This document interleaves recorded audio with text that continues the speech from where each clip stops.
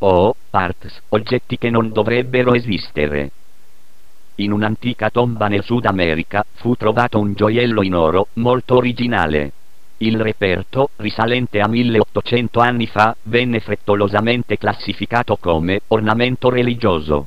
La sua forma è così simile ai più veloci aerei contemporanei che i tecnici dell'Aeronautical Institute di New York lo esaminarono approfonditamente.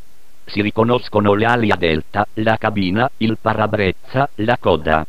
Attualmente il prezioso aeroplanino si trova alla State Bank di Bogotà, Colombia. Non è l'unico esemplare.